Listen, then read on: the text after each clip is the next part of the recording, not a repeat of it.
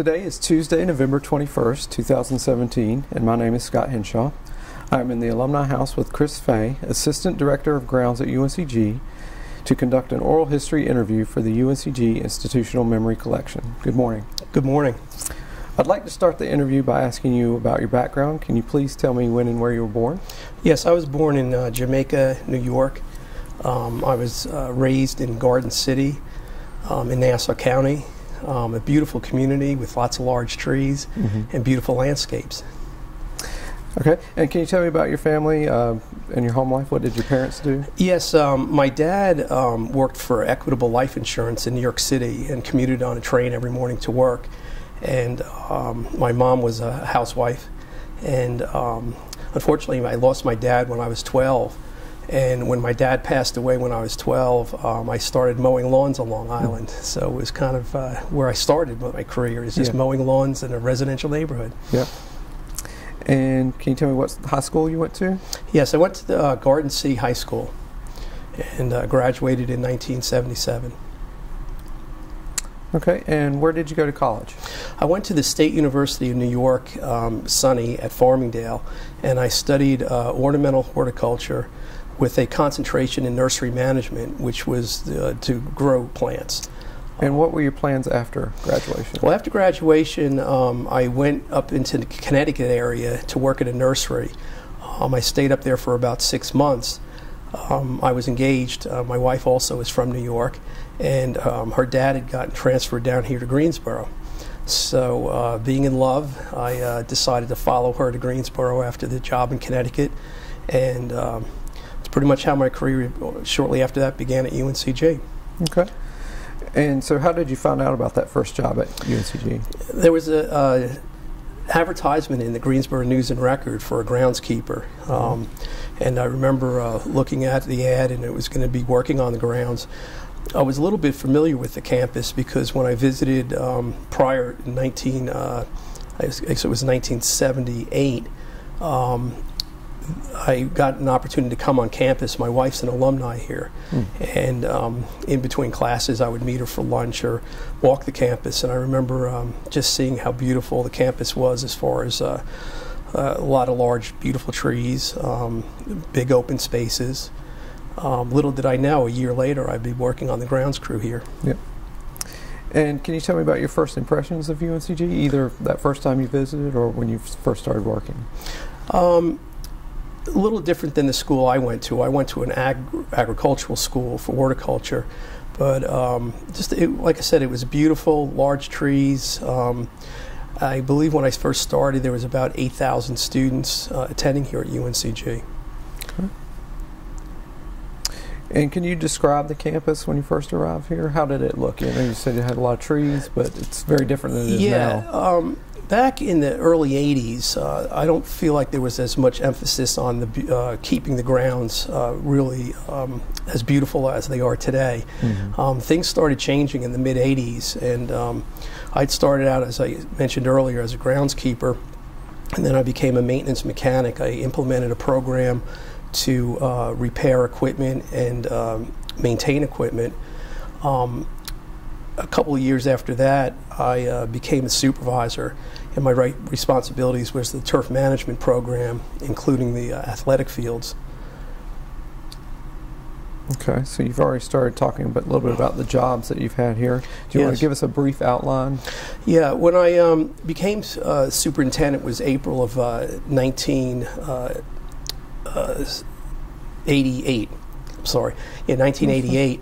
And uh, my responsibilities was uh, the grounds maintenance um, and landscaping of the campus, as well as the athletic fields, golf course, and the sanitation operation.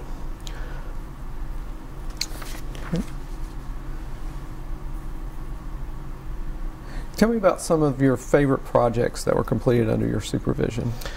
You know, all of the projects, um, whether small or large, um, highly motivated me to, continue to do more. Um, I would uh, interact with my staff and, as well as students, uh, faculty, um, administrators, and uh, own personal ideas I came up with to just continually try to improve the appearance of the campus.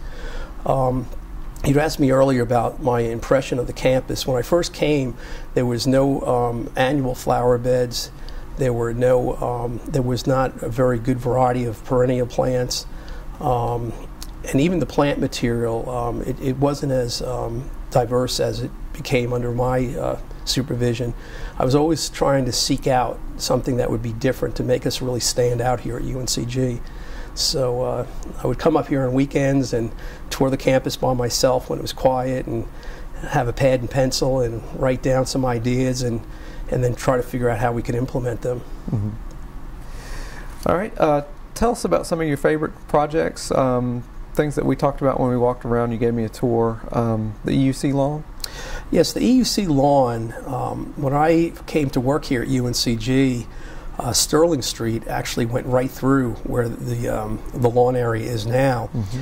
And after the ex- uh, expansion of the Elliott Student Center, um, the front area became the lawn area became actually a gravel parking lot. So mm-hmm. it went mm-hmm. from houses, residential homes, to a gravel parking lot, and served for years. But it was kind of an open part of the campus that really needed to be addressed.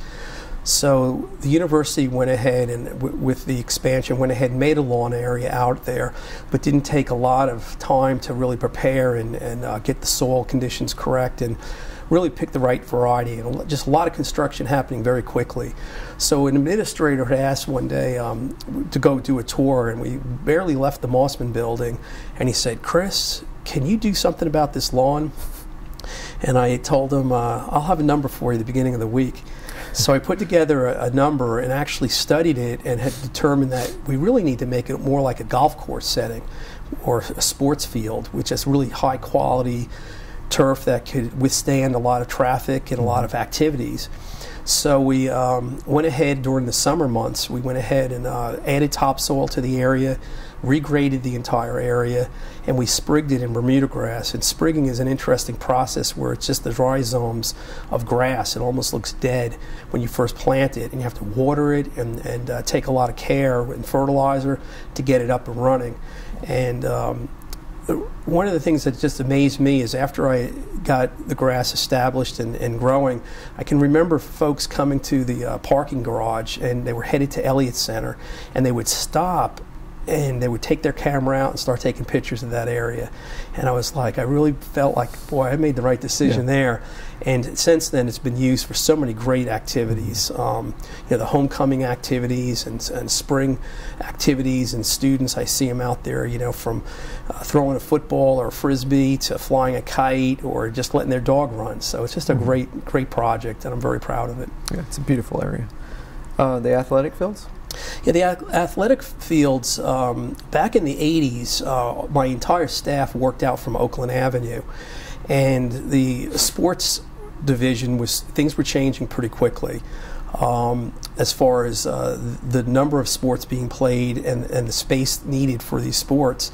So they started developing different projects. Uh, we, you know, we have a practice golf course out in that area, and um, they decided to go ahead and build a uh, soccer stadium. And um, during the soccer stadium renovation, they approached me about the pitch of the field. In other words, you know, it was built more like a football field, but it really needed to be a flat surface, but drainage was extremely important. So going, being very supportive from the university, they really were great about sending me to conferences. I was a member of the Sports Turf Managers Association, the North Carolina Turfgrass Council, Professional Grounds Management Society, so I had networking across the country. And I found out about a, a gentleman over in England that had developed a drainage system using the existing soil. So we regraded this, the field to a flat condition and actually inserted sand slits on the field that would make the field playable within hours after a heavy rain.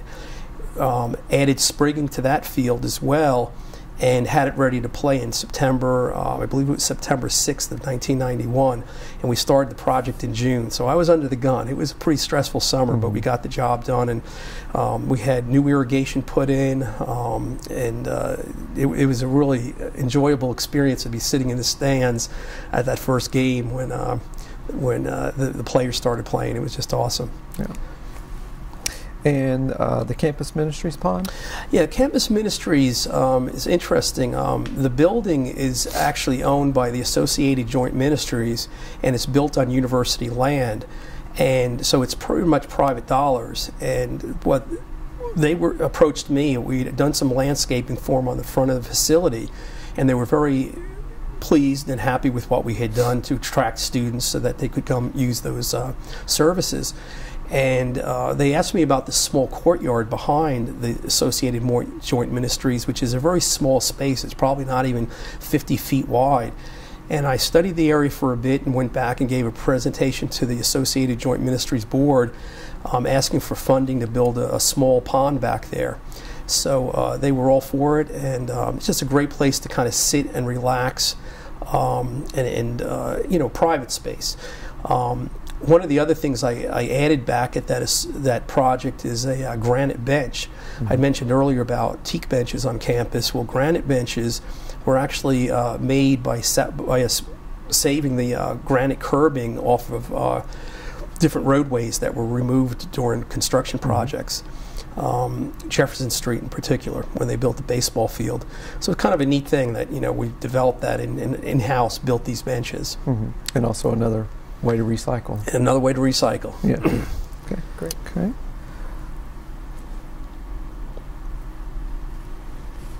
So tell me about the people you worked with, and uh, this could be your employees and working with contractors, if there are any like that, and explain what was necessary to complete most projects.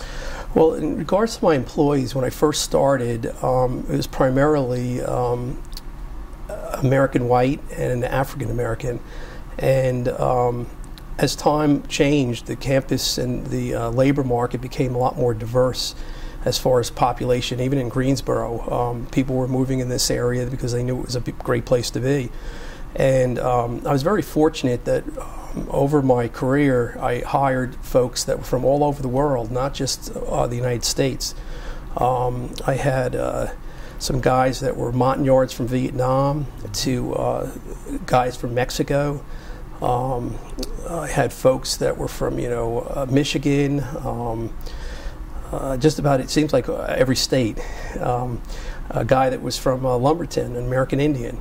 So I had a really good, strong group. It made us very strong, and uh, we had a lot of respect for each other. Mm. Um, working with contractors, you know, was always a challenge because uh, there was always deadlines with projects, and I felt strongly that um, we wanted to make sure we got the best finished product that we could get because we were going to be maintaining it. Uh, so I spent a lot of time, and I was very fortunate to be involved with the facilities management uh, group, um, where I would be involved with these decisions and making sure that the contractor fulfilled his responsibility on projects, um, using the best quality plants and um, making sure he did what was in the contract. Um, so I'm very proud of that. And it, it, it, was frustrating at times, but it was well worth the effort. Mm-hmm. Can you talk a little bit about your management style? My management style, uh, I like giving credit to people who, who came forward with ideas and worked hard. And, um, you know, at times I had to discipline people, but I tried to do that just one on one and uh, motivate them. And I guess since I was started out as a laborer or a groundskeeper, I had a high level of respect for these folks because it's tough work. It's not easy. And, um, you know, you have to con- continually strive to figure out a way to motivate folks. And what I did find is that by creating projects beyond the regular day to day routine maintenance of mowing grass, pulling weeds, picking up litter, that the projects were a great way to uh, pull the team together and um, make something special happen, and they would feel very good about it. Mm-hmm. Now, how are you able to fund campus beautification projects given the constraints of state funding at the public university? Well, that's a great question. Um, back in the uh, 80s, right after I became uh, superintendent, was the title at that time of grounds. Um, there was repair and renovation projects that the university administration would look at every year and they were historically to repair roofs, repaint buildings, upgrade steam, uh, heating systems, things of that sort. And um, my uh, boss challenged me at the time with developing uh, repair and renovation projects as they related to the campus. A good example was um, there were trash cans out on the campus, and they were just uh, 50 gallon drums. Um, so, it- you know, aesthetically, that was not the most pleasing thing. So, we developed a program to implement nice receptacles that would be out for the students to use. And um, also, we had uh, stumps on campus and trees that were failing. And um, we went ahead and put together a complete presentation for the administration to look at with dollars of funding these. And I was very fortunate. That started around 88 or 89 and um, continued the whole time I was at UNCG. Um, and then uh, as a, at, at year end, I would always have projects on, on board in case there was some funding left over. And um, took a lot of time to, to spend with the administration. Um, they were they were very interested in what I was doing and, and my ideas, and were very supportive. Um, they would would actually tour the campus with me, and we would discuss potential areas that could be improved. And then I was the guy that needed to make sure it got done. So uh, it, it was a lot of fun. Great.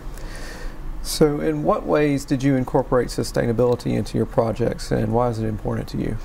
Well, sustainability, um, you know, that was the big buzzword uh, that started in the 80s or uh, late 80s into 90, and um, kind of uh, recycling actually was the start of it. Um, the campus uh, basically just threw away all of its trash. We didn't do anything sustainable as far as separating the materials, and the students uh, were, were really pushing for uh, a position to be um, developed, and it was.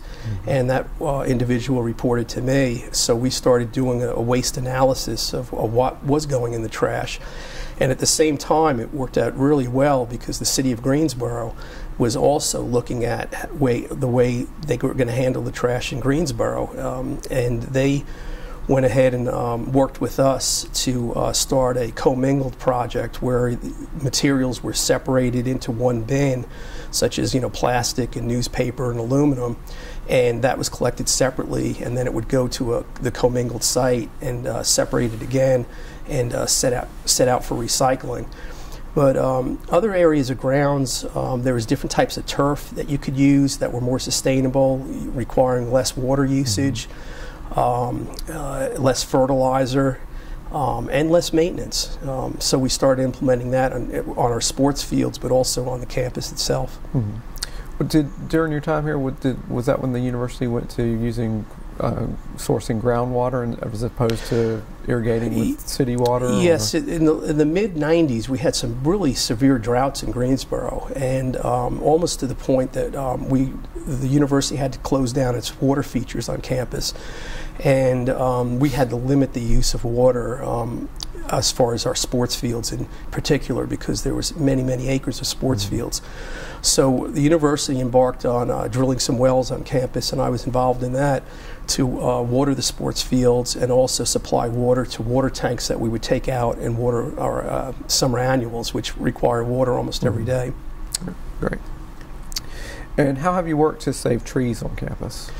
Trees are one of the biggest things I'm extremely proud of. Um, during the um, construction, which was just so much was happening at UNCG, and um, you know when a bulldozer pulls up on site and starts going around some of your trees, you got to be so sensitive to the root systems. So once again, I was very fortunate to work with uh, my boss and administrators to develop a uh, tree protection plan, which would allow uh, to be incorporated in new construction or renovation that barriers would actually be put up with signage to make sure that soil wasn't piled around the roots or roots weren't um, cut beyond a certain area of the drip line that would help preserve the trees and, and keep them alive and healthy. Can you tell me about some of the tours you've given o- of campus over the years? I know we talked at length about the alumni reunion weekend. Or, Um, you know, my part of my job was constantly looking at the campus and making sure things were neat and clean. And um, started using a golf cart to get around the campus. And as I would tour the campus, um, by myself, I started sometimes giving tours to students um, on the way to classes. I could tell they were running late, so they, w- they would get on the golf cart, and I would ask them, you know, what they felt, how they felt about the campus. But um, the alumni weekend was one of the um, most exciting times for me because um, people were coming back to campus that may not have been here in 20 something years. Mm-hmm. So there were some major changes in the campus, um, which I got to see every day. Excuse me. But um, a couple of uh, examples would be um, I would be riding campus and I'd see some people kind of just standing, looking around like you know they, they had almost never seen the campus before, and I would approach them and ask them if they uh, were interested in me giving them a ride to maybe the dorm that they lived in while they were here at UNCG or uh, some of the uh, buildings, new buildings, as well as some of the buildings where they had classes. So it was really exciting to see um, how the campus changed and how excited they were. Um, and not all my tours were on golf carts. I actually one year was approached by the um, the alumni group that put on uh, homecoming, uh, not homecoming, but alumni weekend, and they asked if I would be interested in giving a tour of some of the gardens on campus, and that could I set this up and. You know, we are looking at maybe a dozen people, and we'd you know have a couple of golf carts and take them on out. Well, it became from a couple of golf carts to a couple of buses. and so um, one of my staff took one group in one bus, and I took one group in the other. And we toured the campus and actually went out and stopped at places and explained what was going on and how things changed. And I mean, it was just buzzing the whole time the bus was going, and people were real excited. And it was funny the morning that uh, this big tour was happening, I woke up and I was like, gosh, you know, I wonder if they get to go to Yum Yums. They, they all, you know, they, will they have time to go to Yum Yums? I said, maybe I should contact my friend who actually uh, runs Yum Yums. And um, we were able to go ahead and get some ice cream and serve it to them at the end of the tour. And That's boy, awesome. that, that was a big hit. Yeah. They absolutely loved it. My friend even gave me a Yum Yums hat to put on. So Yeah. they, they it just brought back great memories. And that's what excites people is memories and changes and, and uh, the beauty of the campus. That's awesome. Well, UNCG has received, re- received many awards for its beauty while you were here. Uh, tell me about some of those awards, uh, and I've got some listed here if you. Sure. Um, the first one uh, we, we applied for is uh, Tree Campus USA, and it, it's a mirror of the same program for uh, Tree City USA, which Greensboro already had. And there was a lot of uh, there was a committee that we worked with to develop a tree um, s- uh, program standards of how we deal with trees in regards to maintenance and care. And you also had to have in place a program where you did education with students, which I absolutely loved. So every year we would go ahead and do some tree plantings uh, with students helping and um, educate them on how to pl- properly plant a tree and care for trees. Um, we also had to do a tree inventory of campus and um, also show the amount of dollars that were spent to, care for our trees. And what's really exciting about that particular program, it's ongoing. You have to reapply every year. And up to this year, we, we've been getting it every year since then. Uh, Is there one project or award of which you are most proud? all the projects were fun, um, but probably the, uh, the Green Star Award with the Professional Grounds Management Society. Okay.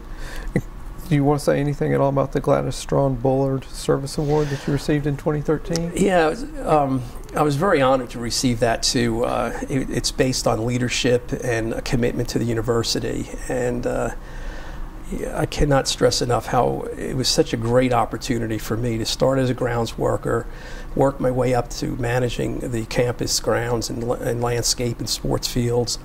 Um, so I'm, I'm very, uh, very honored uh, to receive that award. And what was your favorite part of the job? Uh, probably uh, the interaction with with students and faculty and staff and uh, the alumni. Um, it was just it was just amazing the comments that I received from these folks that I could pass on to my folks that were out there every day doing this tough work. So that was really enjoyable, and um, and just seeing trees that I've planted and landscapes that were renovated, and uh, see when they matured and how beautiful they are. I'd like to talk about Chancellor Sullivan for a bit. Uh, how well did you know Chancellor Sullivan?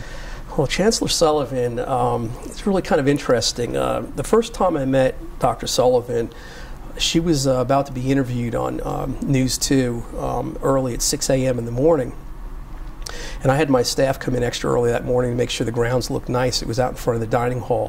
Which I waited for an opportunity, um, and I noticed that she was going to be going on news shortly, and I had a minute to go up and introduce myself. And when I introduced myself to Pat Sullivan, she looked me right in the eye and said, Oh, Chris Fay, I've heard your name, and I really love your curb appeal. and I said to myself, Wow, this is going to be a great ride. Yeah. And it was. She had a very high interest in how the landscape was done at UNCG and maintained. And um, in the period of time that she served as chancellor, sent me well over um, a dozen thank yous for different projects and things that I uh, did, which I just kind of felt like was my job, but she really did appreciate, mm-hmm. and it mm-hmm. meant a lot to me.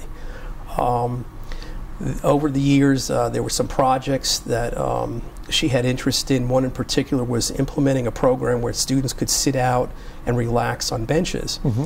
And so um, it trickled on down to me um, to the point that she wanted to walk the campus and talk about this. So we did. We walked the campus, and I had a map, and we started looking at areas where these benches could be placed, that students would use them and community visitors would use them um, and enjoy the landscape um, based on where they were at. So uh, we, we, did a walking tour of the campus, and it was a beautiful fall day, and and uh, Dr. Sullivan and I and uh, some of the administrators went out and we started walking the campus. And she had that New York walk, and I do too. so she uh, she didn't waste any time. She was very businesslike, but very uh, very focused on where this campus was going. And so that was a kind of a neat project to work with Dr. Sullivan on. And also Foust Park. She had a passion for trees. I mean, she was originally a biologist and so uh, she contacted us at one point wanting to know, do we have a map of all the trees in Foust mm-hmm. Park? And so we went ahead and um, identified all the trees in the park and sent that plan up to her. And now we have trees labeled in the park mm-hmm. for folks to walk and see and, and, and learn about trees of the campus. And it's great variety. It's a great place to look and, and learn trees. Sure. Can you tell me about her dogwood in Foust Park? Yes. Um, after Pat Sullivan died, and it was so heartbreaking when she got sick and, and passed away. Um, she got so much accomplished on the campus. Uh, it's just absolutely stunning.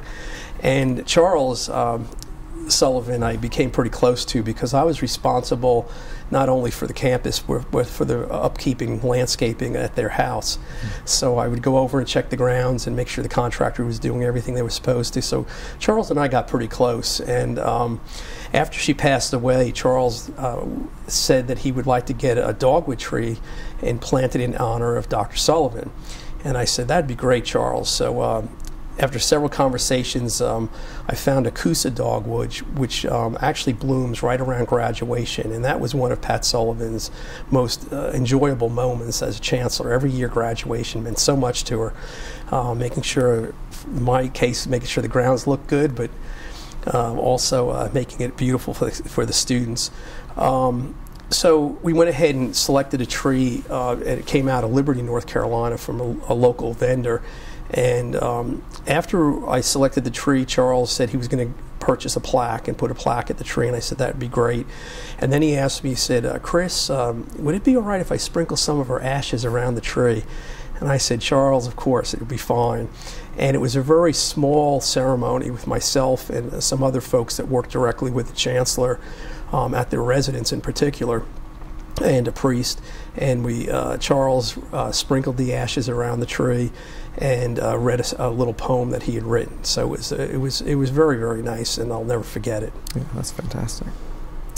So you're now retired. So tell us what you, have been doing since your retirement.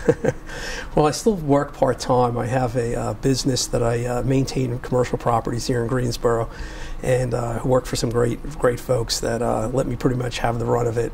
So I'm always improving their properties. Um, and also, I'm doing a lot of work around my house. Um, I recently became a grandfather. Um, I'm very excited about that. I have a little grandson. We just got back from Hawaii And uh, some projects I'm doing at my house is I'm building a fire pit currently, and I recently uh, put up a greenhouse. I'm going to start growing vegetables, and I have chickens, and I also um, have a tortoise as a pet, uh, Lucky, Lucky 95. I rescued from a lady. Uh, actually, she rescued this tortoise walking along I-95 up in Northern Virginia, and was finding a better home for Lucky down in this more southern uh, climate he's a sulcata and he's actually from the deserts of uh, Africa and he needs warm climate. And he's uh, 18 inches wide 24 inches long and 62 pounds. And he's kind of a cool animal to have.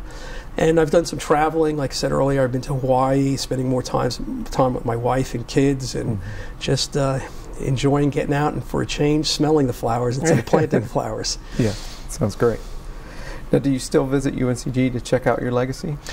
Yeah, I do come by. Um, I'm very fortunate. After my retirement, um, a faculty member went ahead and uh, raised some funding to plant a tree on campus, and I really enjoy going to see my legacy maple, uh, which is planted over by um, Eberhart. And um, I also, you know, just enjoy bike riding and, and still interacting with students. I get on a bicycle, I ride through campus, and I get to see things I planted many years ago that are now large trees and uh, very mature, beautiful landscapes. Um, you know, from the sports fields involved in to the front of Elliott Center, which is a beautiful lawn area for entertainment. Uh, so I get to still see all that, and I enjoy just coming through and taking a look and see what's going on. Great. Well, tell me how UNCG has affected your life and what it means to you. Well, you know, it's almost like a dream. Uh, that it's it's not very usual that you start a career at 21 or 22, and it's pretty much your whole career.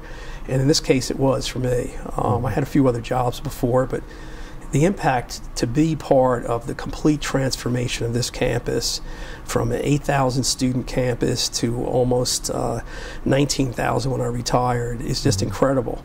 Uh, the amount of construction and change and renovation, I don't think there's a part of the campus that didn't change while I was here. And to be part of that mm-hmm. and, and, and feel really appreciated for what I got to do. Mm-hmm. So it was, uh, it was just outstanding. I don't have any more formal questions for you. Is there anything else that you would like to add to the interview? No, I feel like we covered, well, they, they say a lot of real estate. So, uh, anyways, I've enjoyed it, Scott, and I really am honored to be selected to do this interview, and uh, it means so much to me. Thank we're, you. We're, we're glad to have you here, and we're so glad to have you talk to us. Thanks. Thanks.